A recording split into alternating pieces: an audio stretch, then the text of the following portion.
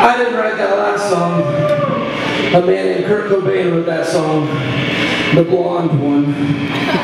And uh, I used to be in a band that ripped it off hard enough. I felt like it was all right to play for you tonight. Yeah, And hopefully you agree I do. or don't agree. Uh, we're coming for you.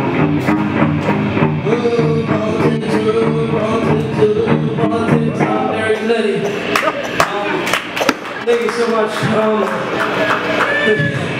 we, uh, we're on, I've been on tour with these lovely, this motley looking crew over here. And, uh, we've been out for about three weeks or so, and uh, all, seriousness aside, they're some of my favorite people in the world, and uh, and uh, it's not every day that I get to tour. Well, lately it has been every day that I get to tour with people that inspire me, uh, musicians-wise and artists-wise. So, um, do I have time for two more? Kelly, Dope Songwriters? Cool. Me Casa Su Casa set list, so if you do more, you're good to go too. Um, we, uh, as, a, as a tour, we have a, a tour challenge that uh, we have to do every night.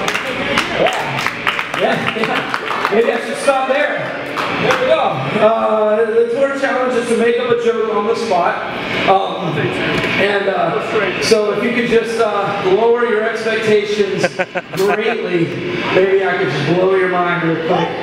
We, uh, um, so I was, so, uh, oh hey everybody. So I had a, uh, so I was at my friend's house, Greg, uh, and my friend Greg is good at making origami.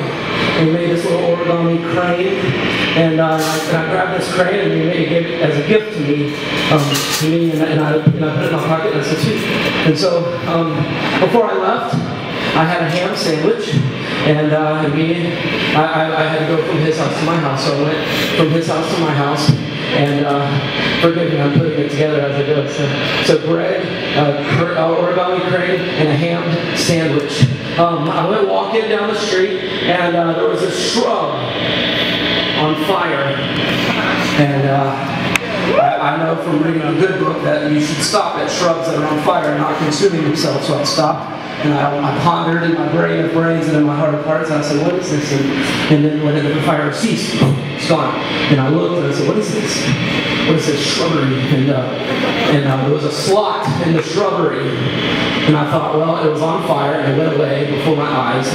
So, um, so I figured, I don't know, all I have is this, this crane and, and a hammed sandwich.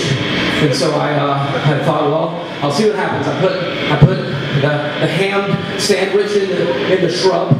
And then and, and nothing and nothing happened. Obviously, it's just a bush. But uh, so then I had this crane and I it in the bush and nothing happened. I thought, well, that was a waste of a good the origami crane and ham sandwich. And then as soon as I started to leave, I found two dollars on the floor. I was like, oh shoot! So I picked up the two dollars and I was like, wait, maybe that's the thing. Maybe that's what it is. Maybe if I just put stuff in there, I'll get monies. And uh, there, Zenetics taught me all about e-commerce and, and, and real life commerce. So I thought, I thought, what a great thing to do. So I went and grabbed some more things. I kept shoving it in this in this bush, and nothing happened. I look around, nothing happened. So I was like, okay, so I went to my friend's Greg's house. I'm putting it together. It's coming together. It's in the backyard of the building. And, uh, and so I went to my friend Greg. Stop. I went to my friend Greg's house and I, and I said, listen, don't don't ask me why, but I have to make you have to make the same bird crane thing. So he made it. So I had it, and then I grabbed a ham sandwich, and I went to this bush, and I took the ham sandwich, I threw it in, and I threw the crane in, the, the bird, and I looked, and there was two dollars. And I guess it just goes to show that a bird and a ham's worth two in the bush.